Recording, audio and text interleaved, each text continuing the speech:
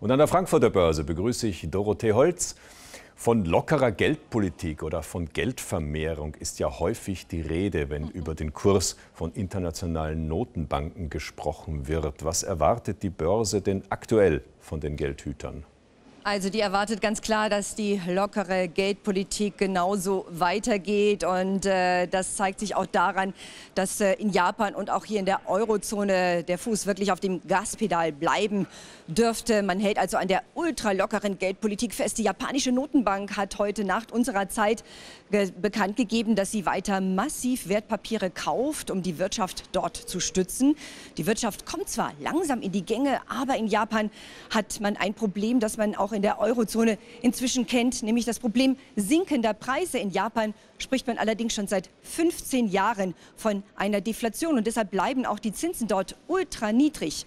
In Japan sind die Leitzinsen bei nahe Null, genauso in den USA. In der Eurozone sind die Leitzinsen noch etwas höher bei 0,25 Prozent. Aber das könnte sich bald schon ändern. Die Europäische Zentralbank hat sich bei ihrer letzten Zinssitzung ganz weit aus dem Fenster gelehnt, hat den Finanzmärkten weitere Hilfen in Aussicht gestellt. Und hier wird jetzt natürlich heftig darauf spekuliert, dass die Leitzinsen in Euroland auch noch weiter sinken werden. Das hat natürlich eine gute Seite. Damit werden Kredite noch billiger für Verbraucher und auch für Unternehmen nehmen, was natürlich auch beabsichtigt ist.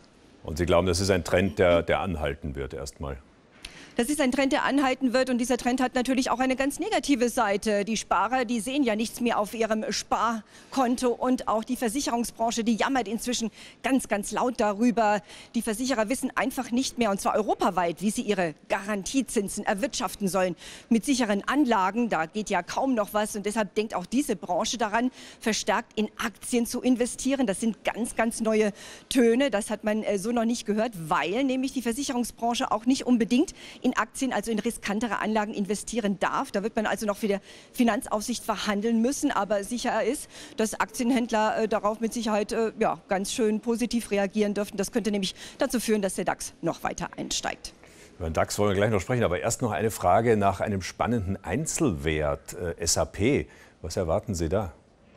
SAP hat heute die Aktionäre zur Hauptversammlung eingeladen und äh, die verspricht wirklich spannend zu werden. Um 10 Uhr geht es da los. Der Softwarekonzern muss nämlich erklären, warum innerhalb weniger Monate die halbe Führungsmannschaft ausgewechselt wurde. Das bisherige Führungsduo löst sich auf. Einer der Chefs geht. Der Finanzvorstand wird ausgetauscht und auch der Technikvorstand hat seinen Abschied angekündigt. Der gilt bisher als Visionär oder galt besser gesagt als Visionär.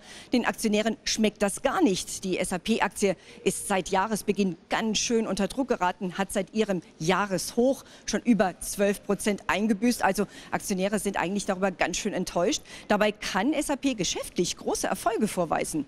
Vor allem im Cloud Computing, der sogenannten Datenwolke. Kunden können nämlich da übers Internet riesige Datenmengen abrufen. SAP ist in diesem Wolkengeschäft führend, aber die Personalfragen, die sind doch sehr irdischer Natur. Tja, und wo bewegt sich der DAX auch bis äh, in die Wolken? Leider nicht. Äh, da dienen dann doch die Vorgaben aus Übersee als Hilfe, um einzuordnen, wie es hier aussieht. Und diese Vorgaben für den heutigen Börsentag, die sind ganz schön mau und wenig inspirierend. Der Dow Jones verlor 0,8 Prozent. An der Technologiebörse Nasdaq ging es um 0,4 Prozent runter.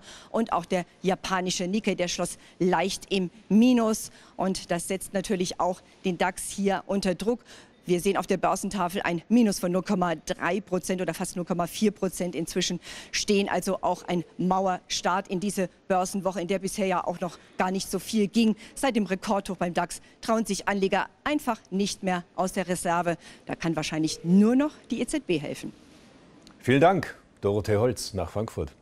Gerne.